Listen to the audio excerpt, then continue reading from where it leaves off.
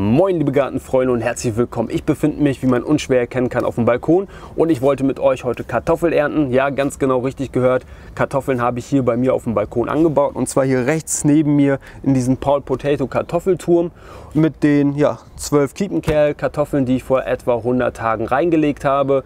Ähm, die meisten Sorten brauchen ungefähr 100 Tage. Ich blende euch auch nochmal die ganzen Sorten ein oder beziehungsweise nenne die auch nochmal unten in der Videobeschreibung. Und jetzt hoffe ich mal, dass ich diese Schüssel hier beziehungsweise diesen Pflanzkübel damit füllen kann. Ähm, einige Kartoffeln schauen auch raus, bin gespannt. Ich hoffe, dass bis unten hin reichlich drin ist. Das Laub, das habe ich jetzt vor drei Tagen schon mit der Schere entfernt. Das ist schon fast abgestorben gewesen und ja, zur Ernte würde mich das hindern. Deswegen wühle ich jetzt gleich mit den Händen und nehme euch bei der Ernte mit. Ich würde sagen, den ersten Turm bzw. die erste Etage nehmen wir gleich hier ab. Das ist auch das Praktische.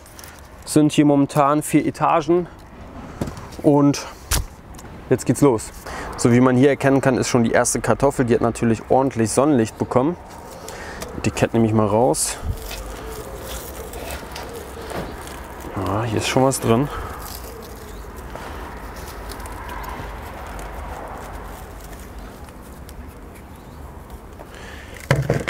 Das Geniale an diesem Kübel ist ja halt, dass hier keine Laufkäfer reinkommen und dementsprechend keine Drahtwürmer in die Kartoffeln.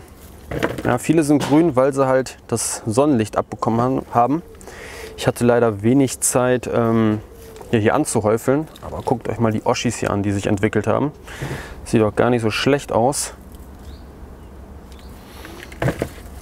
Ich glaube, dass der Kübel jetzt schon gar nicht mehr reichen wird.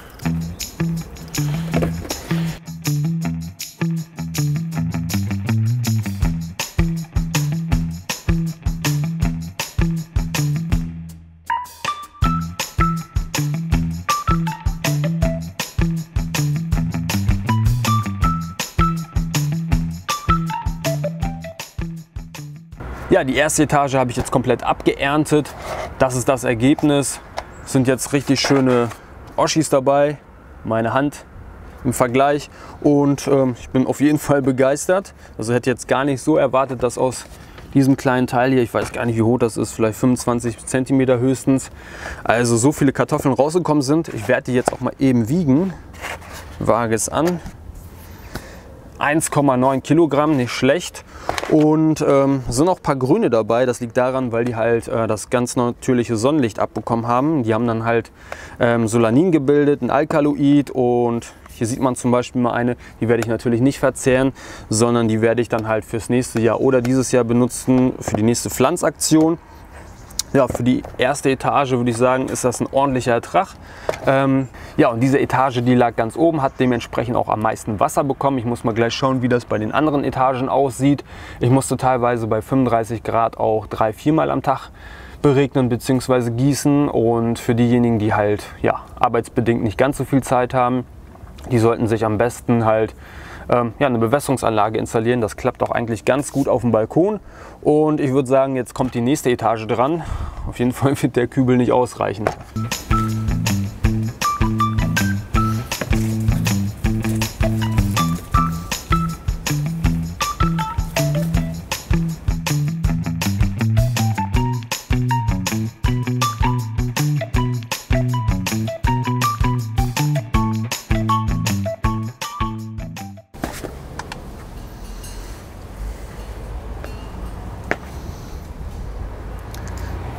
Das sind 1,1 Kilogramm.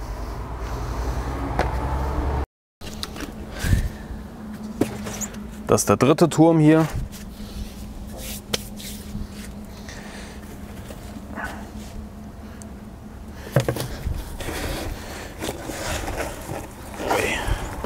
Da ist die Erde schon sehr trocken. Also hier sieht man die erste Kartoffel, ordentlich braun und hier hängen schon die nächsten dran. Ja, schon genial.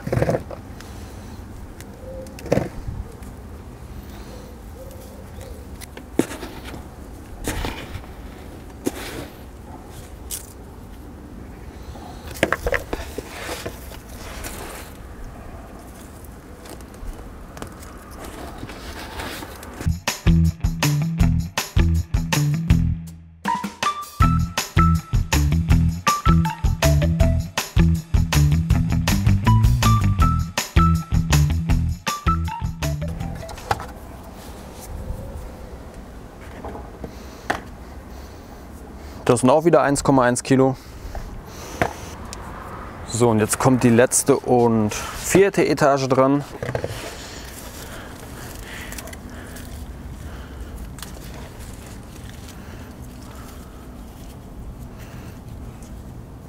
Ein paar kleine.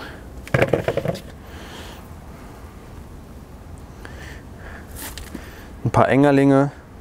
Vermutlich welche vom Maikäfer oder Junikäfer. Hier sind viele rumgeflogen im Mai-Monat äh, und im ja, Juni. Die kommen natürlich erstmal zur Seite. Die werde ich nicht töten.